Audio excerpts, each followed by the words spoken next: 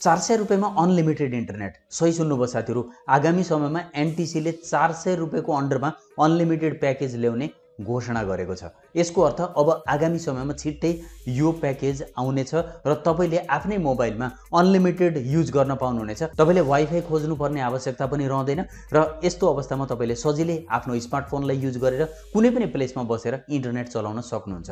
तर यसमा कतिपय समस्याहरू रहन्छन्। किनभने कुनै पनि बेलामा अनलिमिटेड सर्भिस प्रोभाइड गर्ने भनेको सम्पूर्ण कस्टमरहरूलाई चौबिसै घन्टा इन्टरनेट प्रोभाइड गर्ने हो। यस्तो अवस्थामा एनटिसीले यदि यसलाई प्रपर म्यानेज गरेन भने त्यस्तो अवस्थामा भने इन्टरनेट इन्टरनेट स्पिड प्रपर नहुन सक्छ आज मैले यो भिडियो अन्तर्गत रहेर एनटिसीले ल्याउन लागिरहेको चार सय रुपियाँमा अनलिमिटेड जुन प्याकेज छ यसको बारेमा केही कुराकानीहरू गर्नेछु र साथसाथै हामीले बुझ्नेछौँ कि वास्तवमा यस प्याकेजको प्राइस यो सफिसियन्ट हुन्छ हुँदैन र आगामी समयमा कस्तो तरिकाले एनटिसीले यसलाई म्यानेज गर्दाखेरि बढी उपयुक्त हुन्छ यो सम्पूर्ण कुरा पनि यो भिडियो अन्तर्गत रहेर जान्नेछौँ। यदि तपाईँ पनि यस्तै खालको अनलिमिटेड प्याकेजको बारेमा बुझ्न इन्ट्रेस्टेड हुनुहुन्छ भने भिडियोलाई अन्तिमसम्म होला साथीहरू यदि च्यानलमा नयाँ हुन्छ भने च्यानललाई सब्सक्राइब गरिदिनु होला। किनभने यस्तै भिडियो मैले तपाईँको लागि ल्याइरहेको अब साथीहरू सबभन्दा पहिलो कुरा त म के भन्न चाहन्छु भने एनटिसीले यदि यो प्याकेज ल्याउँछ अनलिमिटेड भने त्यस्तो अवस्थामा पक्कै पनि एनसेलले पनि अनलिमिटेड प्याकेज लिएर आउँछ। अब यिनी दुवै बिचको कम्पिटिसनले कस्टमरलाई त्यहाँ पक्कै पनि बेनिफिट हुन्छ।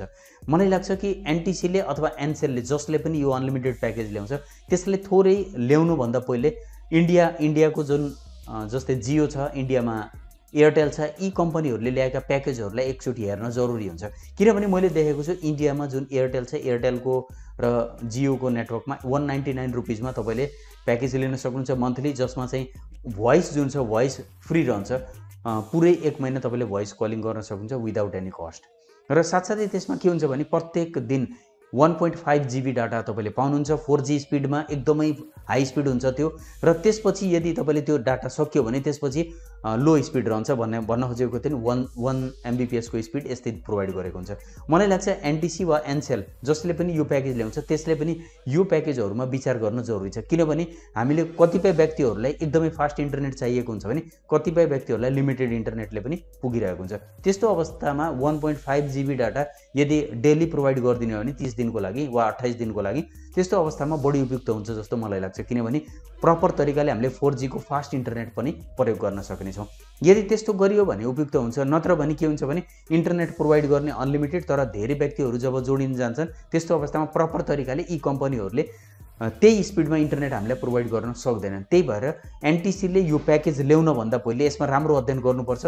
अदरवाइज जुन इन्टरनेट स्पिड प्रोभाइड गर्ने सोच एनटिसीको रहेको छ मलाई लाग्छ त्यो इन्टरनेट स्पिडबाट प्रपर तरिकाले हामीले इन्टरनेट चलाउन पाउने छैनौँ। जसले गर्दाखेरि हामी फेरिबाट त्यस्तै वाइफाई कनेक्सनमा वा कुनै पनि डाटा प्याकेजहरू लिनुमा बाध्य हुनुपर्ने हुन्छ। त्यसैले गर्दा अनलिमिटेड प्याकेज ल्याउँदाखेरि यी सम्पूर्ण कुरा अध्ययन गर्न एकदम जरुरी हुन्छ जस्तो मलाई लाग्छ।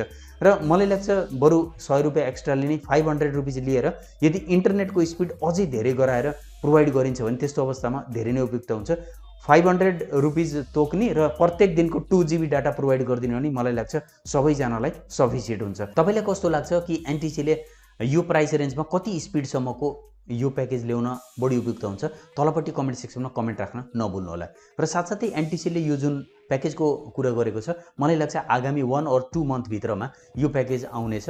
वान मन्थभित्रमा आयो भने धेरै नै उपयुक्त हुन्छ किनभने धेरै जसो व्यक्तिहरू अहिलेसम्म सबै आफ्नो घरमा वाइफाईमा सिफ्ट भइसकेका छैनन्। त्यसैले गर्दा छिटो यो प्याकेज ल्याउँदा बित्तिकै धेरै व्यक्तिहरूले वाइफाई कनेक्सनमा ट्रान्सफर गर्ने सोच पनि चेन्ज गर्न सक्छन्। त्यसैले गर्दा यदि एनटिसीले बेनिफिट लिन चाहन्छ भने छिटो यो प्याकेजलाई ल्याउन जरुरी हुन्छ। तपाईँलाई कस्तो लाग्छ एनटिसीले ल्याउन लागेको यो प्याकेज कति पैसामा हुनुपर्छ र साथसाथै यसको अनलिमिटेड प्याकेजमा जुन मैले कुरा गरेँ वान अर टू जिबीको कुरा गरेँ यसमा कति लिमिटेसनको डाटा हामीले पाउँदाखेरि बढी उपयुक्त हुन्छ कमेन्ट सेक्सनमा कमेन्ट राख्न नभुल्नु होला आशा गर्दछु भिडियो तपाईँलाई मन परेको छ। भिडियो मन परेको छ भने लाइक गरिदिनु होला धेरैभन्दा धेरै साथीहरूलाई भिडियो सेयर गरिदिनु होला भिडियोको बारेमा के भन्न चाहन्छ भने कमेन्ट गरिदिनु होला मलाई पर्सनली जोडिन चाहन्छ भने technical seventy one Instagram ID र ट्विटर आइडीमा फलो गर्नु होला thanks for watching this video